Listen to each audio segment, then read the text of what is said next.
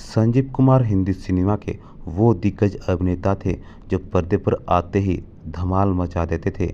अपने 25 साल के एक्टिंग कैरियर में कई ऐसी फ़िल्मों में काम किया जिन्होंने सिनेमाघरों में दर्शकों को सीट बांधे रखने का काम किया। वो अपने हर अंदाज से फैंस का दिल जीत लेते थे, लेकिन इंडस्ट्री का एक सुपरस्टार उन्हें शानदार एक्टर नहीं मानता था। आइए आपको बताते हैं कौन था वो सुपरस्टार। संजीव कुमार ने अपने कैरियर में कई हिट फ़िल्मों में काम किया है। खिलौना, शोले, सीता और गीता आंधी जैसी कितनी ही ऐसी फ़िल्में हैं जिनमें उनके काम को काफ़ी सराहा गया था। वो इंडस्ट्री में पहचाने ही अपने संजीदा अभिनय के लिए जाते थे। अपने दौर में उन्होंने हर एक्ट्रेस के साथ काम किया। साल 1975 में आई रमेश सिप्पी की फ़िल्म शोले में उनका ठाकुर का किरदार तो लोगों के जहन में आज भी ज़िंदा है। उनकी एक्टिंग के दीवाने फैंस आज भी उनकी फ़िल्में देखना पसंद करते हैं, लेकिन 60 और 70 के दशक का एक सुपरस्टार उन्हें शानदार एक्टर नहीं मानता था। संजीव कुमार को अच्छा एक्टर नाम मानने वाले वो सुपरस्टार राजेश खन्ना थे।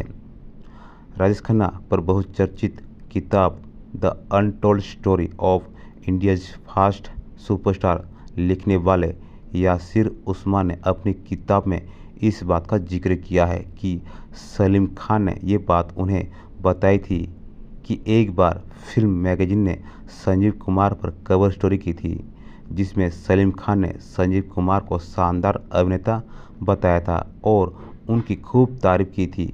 वो मैगजीन जब राजेश खन्ना ने पढ़ी तो तुरंत सलीम खान को अपने घर बुला लिया था।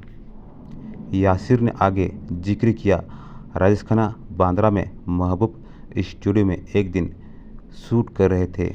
वहीं उन्होंने सलीम खान को बुलाकर पूछा कि ये आपने कहा है कि संजीव कुमार अच्छे एक्टर हैं। उन्होंने कहा कि मेरे बारे में आपका क्या ख्याल है?